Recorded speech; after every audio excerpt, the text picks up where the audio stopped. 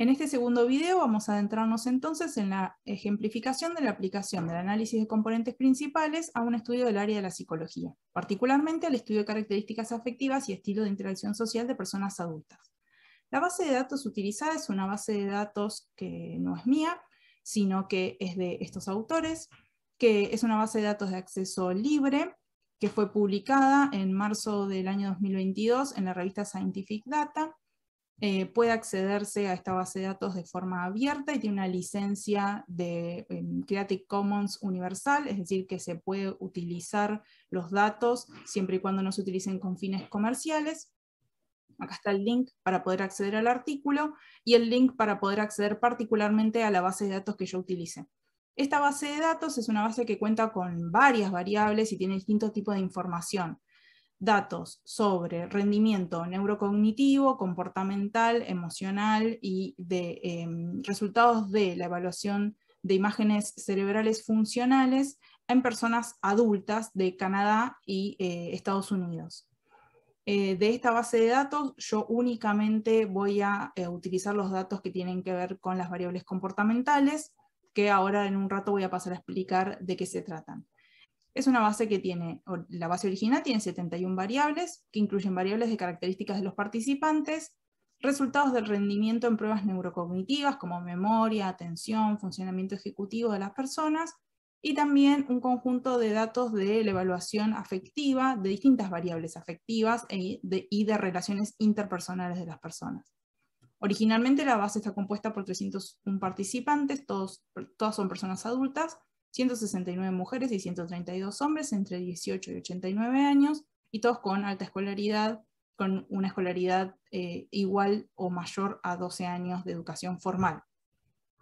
Para este trabajo práctico yo no trabajé con las 71 variables, sino que seleccioné eh, algunas, particularmente las que están relacionadas con el componente afectivo evaluado en estas personas.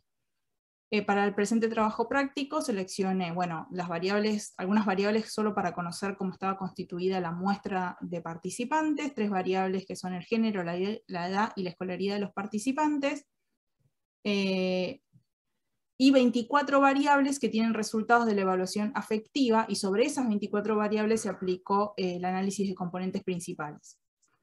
Como el análisis de componentes principales se tiene que realizar con con una base de datos que tenga todos datos disponibles, no puede tener datos faltantes, se redujo la cantidad de participantes porque mm, en esta base de datos no todos tienen datos de todos los participantes, no todos los participantes tienen datos para todas las variables, quise decir.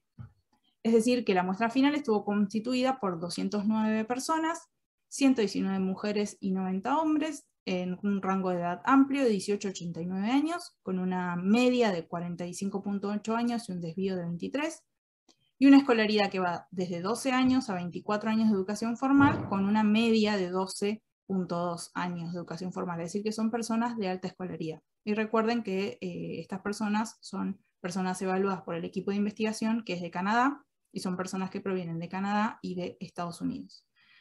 Entonces, tomamos de la base de datos original las 24 variables que tienen eh, resultados de la evaluación afectiva y ahora vamos a ver las características que tienen cada una de estas variables y cómo es que pudimos pensar la aplicación del análisis de componentes principales sobre ellas. Veamos los resultados del análisis realizado que lo hicimos con RStudio. Ahora lo que estamos observando es el HTML que contiene el informe generado del análisis realizado de componentes principales sobre nuestra base de datos. Vamos a conocer un poco más de qué se tratan los datos que tenemos y eh, qué, es lo que nos, eh, qué es lo que nos preguntamos o por qué aplicamos análisis de componentes principales sobre esta base. Eh, cargamos algunas librerías necesarias que no son necesarias para realizar el análisis de componentes principales, con el RBase se puede realizar, pero que son algunas librerías eh, para algunos análisis puntuales y para la visualización de algunos resultados. La fuente de los datos, como mencioné anteriormente, eh, pertenecen a Spren. Acá se encuentran las referencias para poder acceder a la, a la base y al artículo completo que tiene toda la información detallada de cómo se obtuvieron los datos. Bien, la base original tenía 301 observaciones y 71 variables, pero nosotros solo seleccionamos algunas que están relacionadas con las características de la muestra evaluada y las 24 variables que serán analizadas con el método de componentes principales. Para abrir, abrimos la base a través del comando read.csv2 y ponemos en ella el link de la base de datos, de dónde proviene la base de datos, y eso nos permite acceder y bajarla directamente y poder trabajar con ella. Eh, seleccionamos nuestras variables de interés y yo, para facilitar después su interpretación, cambié el nombre de las variables al idioma castellano. Acá tenemos una primera visualización de la base eh, de datos con el género, la edad, la educación y las variables que consideramos. Eh, dos puntuaciones, bueno, no se ve, pero es el BDI y el GDS, que son em, eh, herramientas para evaluar la presencia de sintomatología depresiva, y otro conjunto de variables que van a ser las variables que vamos a analizar. Vamos a ver ahora con más detalle de qué se trata. Como podemos observar, en la base de datos seleccionada hasta ahora tenemos eh, varias personas que no tienen datos de nuestras variables de interés, entonces vamos a tener que hacer una limpieza de la base de datos antes de poder analizarlos. Veamos la descripción de las variables seleccionadas. Las variables que seleccionamos incluyen puntuaciones obtenidas por los participantes en escalas que permiten valorar la presencia de sintomatología depresiva, características de la personalidad, componentes de la empatía y la autopercepción de distintas variables afectivas y de interacción interpersonal. En lo que refiere a la depresión, se utilizaron las puntuaciones de dos escalas, la GDS y la BDI, en ambos casos, mayor puntuación indica mayor presencia de sintomatología depresiva, aunque vale aclarar que todas las personas evaluadas eran personas sanas, que no tenían ningún diagnóstico clínico en particular. A un grupo de personas se le aplicó la GDS, que eran las personas eh, de mayor edad, y al grupo de personas más jóvenes se le aplicó el BDI. Eh, en ambos casos eh, son dos escalas validadas. Respecto a la evaluación de la personalidad, que tenemos un conjunto de variables que representan características de la personalidad de la persona. Se consideró en, esta, en la investigación de los autores el enfoque de los cinco grandes factores de la personalidad, por lo tanto, utilizaron una escala que permite valorar estas características de personalidad de las personas. Apertura, responsabilidad, extraversión, amabilidad y neuroticismo. Y se utilizó la, la escala Big, Big Five Aspect Scale de Young del 2007, y las puntuaciones que nosotros tenemos en la base de datos son las siguientes. La puntuación para apertura, todas las que inician con P, hacen referencia a variables de características de la personalidad. La apertura, puntuaciones altas, o sea, personas que obtienen puntuaciones altas en esta variable, indican una tendencia de la persona a buscar nuevas ideas, emociones y actividades, y las personas con alta puntuación en apertura se caracterizan por su capacidad imaginativa y su atracción hacia el arte y a la cultura. En el caso de la responsabilidad, puntuaciones altas se asocian a personas con mayor persistencia, orden y búsqueda de logros. Y las personas con altos puntajes de responsabilidad suelen ser autodisciplinadas y ambiciosas, con una tendencia a adherirse a planes, horarios y normas. La puntuación de extraversión, las personas que tienen alta puntuación en extraversión suelen ser personas, con, son personas más enérgicas, emocionalmente positivas y con tendencia a buscar situaciones emocionalmente activadoras. Y además, las personas que obtienen altas puntuaciones en, extraversión eh, suelen hacer una búsqueda activa de interacciones sociales y buscan estar en compañías con otras personas.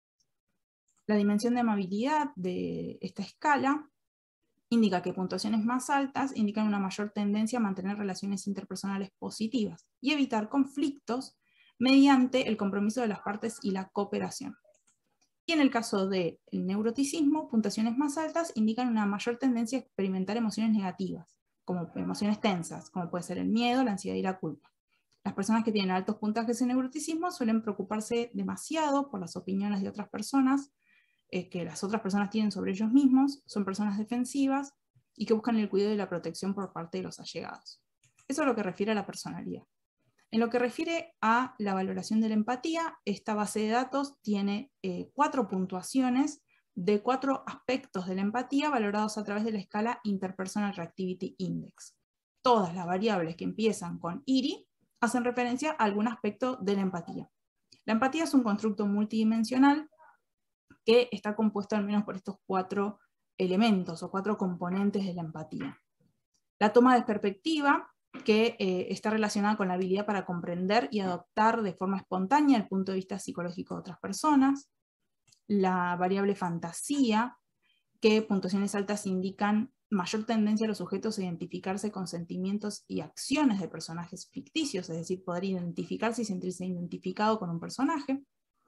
La preocupación empática, en la que puntuaciones altas indican mayor tendencia a los sujetos a, experimentar sentimientos de compasión, preocupación y calidez hacia otras personas que atraviesan situaciones desafortunadas.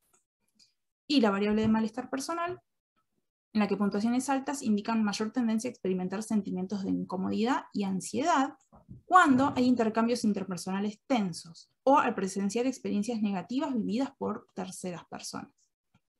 Y por último, en esta base de datos tenemos todo un conjunto de variables que empiezan con la letra E, que eh, están, em, las puntuaciones están obtenidas a partir de escalas de autorreporte de cómo la persona percibe distintas eh, esferas afectivas, emocionales e interpersonales de sí misma. Todas estas escalas pertenecen a la herramienta creada por la NIH, la NIH eh, Toolbox Emotion también tiene una versión cognitiva, en este caso se considera solo la versión emocional, y nosotros tomamos las siguientes variables, que son muchas variables, yo las voy a mencionar como para tener una idea de qué se tratan, pero después cuando hagamos el análisis de componentes principales, vamos a hablar sobre algunas de ellas y cómo es que el análisis de componentes principales permite reducir todo este conjunto de variables en una menor cantidad de ellas. Partimos de estas variables de autopercepción, de afectividad y relaciones interpersonales. Por un lado, la puntuación en hostilidad y desconfianza. Mayor puntaje en esta escala indica mayores actitudes cínicas y de desconfianza hacia los otros y sus motivaciones. La escala de apoyo emocional, mayor puntaje indica una mayor percepción subjetiva de contar con disponibilidad de una red social de contención. Particularmente refiere a la valoración que tiene la persona sobre la disponibilidad de la propia red social para escuchar y ayudar con los problemas de uno en forma empática. La escala de miedo-activación, eh, la variable miedo-activación, las puntuaciones en esta escala, más puntaje indica más presencia de síntomas somáticos relacionados con la activación emocional del miedo y la ansiedad. La puntuación en amistad, las personas que puntúan alto en esta escala, mayores puntajes indican una mayor percepción subjetiva de que hay disponibilidad de amigos, de que uno tiene amigos disponibles, y la disponibilidad de compañía para interactuar con otras personas. El puntaje de satisfacción de vida, que es un indicador de bienestar psicológico, mayor puntuación indica mayor percepción subjetiva de, respecto a la satisfacción general que tiene una persona con su satisfacción de vida. El apoyo instrumental, mayor puntaje indica mayor percepción subjetiva de contar con una red de contención, pero en este caso, como el apoyo es instrumental, eh, refiere a la valoración que tiene la persona sobre qué tan disponible hay otras personas en su círculo social para obtener ayuda material en caso de ser necesario. Eh, la variable soledad, mayores puntajes indican mayor percepción subjetiva de soledad. La variable propósito, mayores puntajes indican más autopercepción de que la vida propia de la persona importa y que está realizando algo importante con ella. La variable hostilidad percibida es un indicador de angustia social. Mayores puntuaciones indican mayor hostilidad percibida, es decir, que la persona tiene percepción de que tiene mayores discusiones o recibe mayores críticas en su círculo social. El rechazo percibido es otro indicador de angustia social y las personas que tienen más puntuaciones en esta escala tienen más autopercepción sobre el rechazo social. Es decir, una sensación que, es, que tiene que ser frecuente de que otras personas no lo escuchan cuando pide ayuda o no le prestan atención. El estrés percibido, como su nombre lo indica, esta variable es un indicador de estrés psicológico y que el estrés psicológico ocurre cuando la persona eh, percibe que las demandas del ambiente eh, superan a las demandas que tiene la propia persona para afrontar las demandas del ambiente. Mayor puntuación en esta escala indica mayor estrés psicológico. La variable de afecto positivo, que refiere a sentimientos que reflejan un nivel de compromiso placentero con el entorno, como felicidad, alegría, emoción, entusiasmo y satisfacción, mayores puntuaciones indican mayor afectividad positiva percibida por la persona. La puntuación de tristeza las personas que puntúan alto tienen, en esta escala, tienen mayores sentimientos de tristeza. Y por último, el puntaje de autoeficacia, en donde las personas que tienen más puntaje en esta escala eh, tienen mayor percepción de autoeficacia, es decir, la autoeficacia se describe como la creencia de una persona que tiene sobre su capacidad para gestionar su funcionamiento y tener control sobre sus eventos. Entonces, partimos de todo este conjunto de variables. Son 24 variables que hacen referencia a variables de la personalidad, a variables afectivas, a la empatía y otras variables que tienen que ver con la interacción social de la persona. Vamos a ver cómo podemos hacer para reducir este conjunto de 24 variables en un conjunto menor de variables, que podemos explicar su relación entre ellas y ver, em, poder obtener una menor cantidad de variables que puedan ser interpretadas eh, y nos den información sobre la mayor variabilidad de los datos posible.